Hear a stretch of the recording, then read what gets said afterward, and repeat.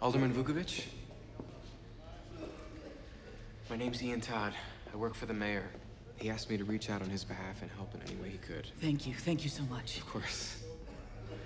I'm told that you were pulled over by a police officer, I am not drunk. but you refused a breathalyzer. I'm sure if you were to take the test now, it would prove you well below the legal limit for alcohol. That's right. Unfortunately, there's a lot of paperwork involved in securing your release and the dropping of charges. It'll take a while. But the mayor, aware of your commitment to voting on all ordinances, thought you might want to arrange for yours to be cast by proxy.